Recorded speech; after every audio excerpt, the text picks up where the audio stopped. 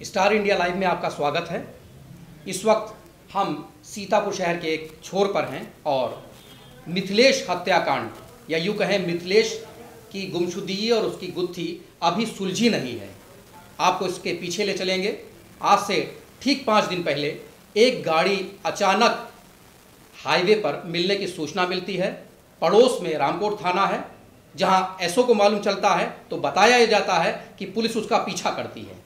गाड़ी रामकोट से होती हुई शहर में आती है और शहर से फिर हाईवे पर चली जाती है।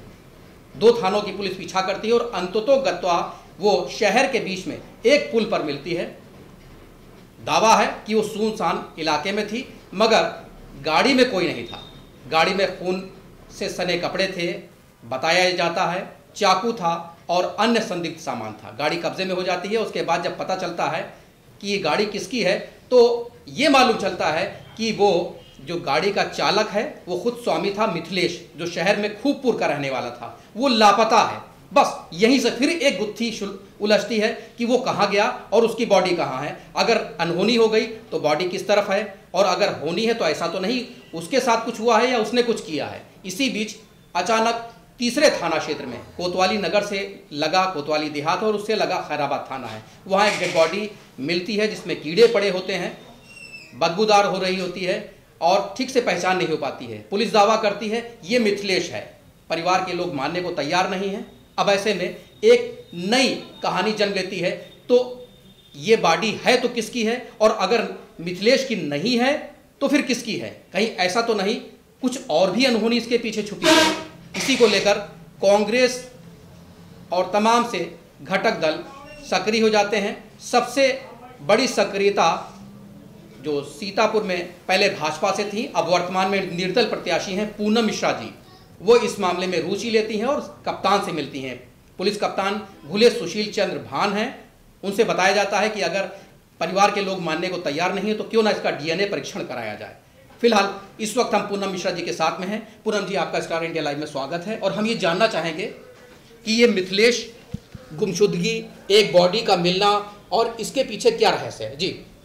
देखिए, इन लोगों ने मुझे आज सुबह संपर्क किया और मुझे बताया कि ये बॉडी हमने देखी नहीं है, लेकिन बॉडी की जो पोजीशन थी और जो फ़ोटो उनके पास आई थी, उससे वो उसको पहचान नहीं पा रहे थे।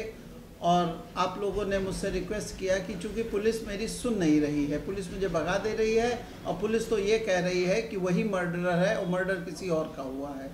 तो इसलिए आप मेरी मदद कीजिए, मैं इनके साथ एसपी से मिलने गई।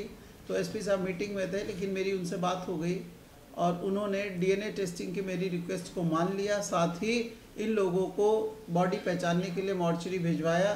लेकिन बॉडी की जो हालात थी, जो ये बता रहे हैं, उस हिसाब से चूँकि जो भी उसका नीचे का हिस्सा बचा था, उसमें कीड़े चल रहे थे तो ये बॉडी को रिकॉग्नाइज नहीं कर पाए। तो अभी ये भी संदेह के घेरे में है कि वो बॉडी इनके घर वालों की है या नहीं है।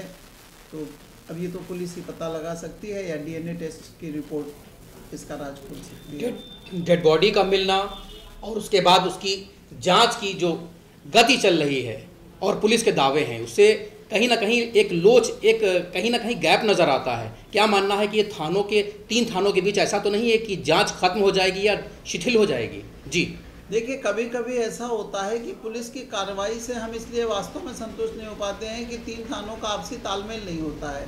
रहने वाले हैं ये रामकोट के, गाड़ी मिली इनकी कोतवाली क्षेत्र में और बॉडी मिली है खैराबाद में। तो तीन थानों का इसके माने आपस में कहीं कोई तालमेल नहीं था। इसीलिए ये मामला 24 घंटे और लंबित रहा। नहीं तो इनको कल ही अगर इन्फॉर्मेशन पुलिस से मिल गई होती या पुलिस का आपस में कोऑपरेशन होता तो एक आदमी जो 23 तारीख से गायब है, उसके बारे में पुलिस इनको इन्फॉर्म करती अगर बॉडी मिली थी कि भाई आप इसको देख लीजिए आके तो हो सकता है 24 घंटे पहले अगर इन्होंने बॉडी को देखा होता तो शायद कुछ पहचान सकते, क्योंकि 24 घंटे में तो बॉडी और डिटोरिएट हो गई होगी। तो पुलिस की कार्यप्रणाली जो है वो तो सदैव संदेह के घेरे में रहती है। पुलिस अपने तरीके से काम करती है। तो सुना आपने, वरिष्ठ अधिवक्ता और सीतापुर नगर पालिका परिषद अध्यक्ष पद की प्रत्याशी पूनम मिश्रा जी ने क्या कहा? फ़िलहाल, इसमें आगे और भी हैं, कड़ियाँ जुड़ी हैं। हम उनके परिवार से आपकी बात कराएँगे, आपका सामना कराएँगे कि परिवार के लोग इस बारे में क्या करते हैं। देखते रहिए स्टार इंडिया लाइव। ले लो और ले लो, बढ़ा लो। बढ़ा लो यार, बढ़ा लो।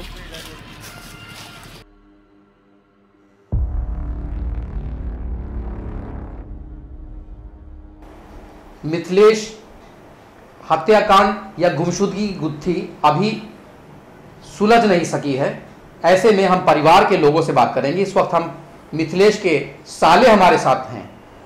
जी आप पहले अपना नाम बताइए और बताइए पूरा मामला क्या हुआ था। मेरा नाम है स्वतंत्र कुमार। मामला ये था कि मेरी बहन मेरे घर पे थी। मेरे पास ये बाईस तारीख की घटना है।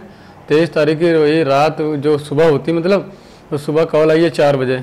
इनके, हमारी बहन के ससुराल थे कि क्या भाई आपके वहाँ मिथिलेश हैं? तो हमने मिथिलेश नहीं है, रात में इतने क्या हुआ? तो कहने लगे, मिथिलेश, पुलिस आई है, बता रही है किसी मर्डर करके भाग गए, गाड़ी संदिग्ध हालत में पकड़ी गई है। तो हम लोगों ने सुना, अपनी सिस्टर टर को लेके हम लोग संडे की सुबह यहाँ आ गए थे सर ग्यारह बजे। तो हम जाके चौकी पहुँचे। तो मैंने कहा, सर, क्या हुआ? मिथिलेश मिले? चिंता अपनों की होती है, सर। तो कहने लगे कि, मिथिलेश मर्डर करके फरार हैं। आप जाके चौकी, पता करिए आपकी गाड़ी वहाँ खड़ी हम लोग सर चौकी गए। चौकी पे पूछा तो कहने ले जाओ उसको ढूंढ के लाओ जाके। जो मिथिलेश फरार है, हमने सर देख लिया कि अब तक मेरा ही तो नहीं बंदा मर गया है। तो कहने लगे, नहीं, वो फरार है। हम गारंटी के साथ कह रहे हैं। वो ज़िंदा है। किसने कहा फरार है? वो चौ चौकी इंचार्ज थाना कोतवाली इंचार्ज। अच्छा जी। कोतवाली प्रभारी। जी, वो प्रभारी। शहर कोतवाली शहर शहर शहर मेरी वहीं गाड़ी। हाँ हाँ। तो फिर सर उन्होंने वो कहने लगे तुम्हारा यहाँ कुछ नहीं होगा। तुम जाओ तुम्हारा थाना लगता है रामकोट। वहाँ जाके अपनी जो कार्रवाई करना करो। तो हम वहाँ गए वहाँ भी हम लोग से यही कहा गया कि मिथिलेश आपके जो है मर्डर करके फरार हैं उनको हाजिर कराइए तो ज़्यादा अच्छा रहेगा। तो हम लोग कहने लगे फिर नहीं सर ऐसा नहीं है वो ऐसा करते नहीं। तो फिर हम लोगों ने गुमशुदगी की एफआईआर दर्ज कराई। तो उस पर सर कोई एक्शन नहीं हुआ। तो हम लोग मैडम के पास आए साहब के पास गए एसएसपी सर के पास। कल भी हम लोग गए थे कल भी नहीं मिले थे। आज हम मैडम को लेके गए तो हम लोग वहाँ सर तो मिले नहीं मगर आज कुछ पुलिस एक्शन में आई है जब सर अच्छा के आपको क्या लगता है जो डेड बॉडी मिली है ये आपके जीजा की है या नहीं है? पुलिस कह रही है दावा कर रही है कि ये बॉडी उसी की है जो गुमशुदा था मिथिलेश था। जी। आपका क्या मानना है? सर देखिए बॉडी पूरी ऊपर से जली हुई है और नीचे आज काफ़ी दिन होने से कीड़े पड़ गए हैं। तो कुछ नहीं कहा सकता, सिर्फ़ एक उनके शरीर पे लोबर है जो। उसी से हमारी बहन और जो उनके परिजन हैं, वो कह रहे हैं कि लोबर इन्हीं का है, मगर बॉडी में उनके और भी सब चीज़ थी, कुछ नहीं पता चल रही है। इसके आधार पर हम लोगों ने भी पुलिस से कहा था कि बॉडी हमारी नहीं, अभी नहीं लेंगे, बहत्तर घंटा आप जाँच करिए, अगर कुछ मिलता है, अगर ये वही होंगे तो फिर हमको दे दिएगा, उसमें कुछ है नहीं, उसमें हड्डियाँ हड्डियाँ हैं तो उसको हम अंतिम कर देंगे। पहले पुलिस ने कहा कि वो हत्या करके भागा। जी, जी। क्या आपने बात जब डेड बॉडी मिली तो आपने पूछा नहीं मैंने पूछा। तो उसको हत्या मैंने पूछा, हमने तो- अब उसकी खुद ही हत्या हो गई मैंने कहा हमने सर आप तो कह रहे थे कि उसको उसको वो तो हत्या करके भागा मर गया इसका कौन जिम्मेदार होगा? तो मेरा ही समझिए मर गया है। अब मानिए 80 परसेंट तो लोग मतलब है शक में कि बॉडी मेरी है। मगर कुछ संदेह ऐसा हो रहा है कि नहीं है? तो हमने उनसे कहा तब कोई बोल नहीं रहा। तब मैडम आ गई एक दीदी हमारी हैं वो आ गई सब लोग। उनकी वजह से आज कोई नहीं तो सब लोग कह रहे बॉडी लो। हमने कहा, बॉडी नहीं लेंगे, पहले जाँच हमारी कराई जाए, उसके बाद हम बॉडी लेंगे। तो सुना आपने, मिथिलेश की गुत्थी अभी भी सुलझ नहीं सकी है। काफ़ी समय बीतने के बाद भी यही पहले दावा किया गया कि मिथिलेश जो गायब हुआ है, वो हत्या करके भागा है। उसके बाद शहर के आसपास एक गाड़ी मिलती है, जो खून, जिसमें खून से लथपथ होती है, और वो जब उसमें तलाशी होती है तो उसमें कई संदिग्ध चीज़ें मिलती हैं। इसी के आधार पर कहीं ना कहीं चीज़ें और गहराती गई और फिर एक डेड बॉडी मिलती है। बाद में जिसको पहले बताया जाता है हत्यारा है, फिर बताया, ये बताते हैं जैसा इनके परिवार वालों का दावा है कि ये डेड बॉडी उसी मिथिलेश की है। तो फिर अगर मिथिलेश की है तो पुलिस ने पहले हत्यारा उसको कैसे घोषित कर दिया? और अगर इसकी ही बॉडी है तो हत्या करने वाला कौन था? फ़िलहाल मामला अभी उलझा हुआ है, सुलझ नहीं सका है। स्टार इंडिया लाइव में स्वरित सक्सेना के साथ जीशान कबीर।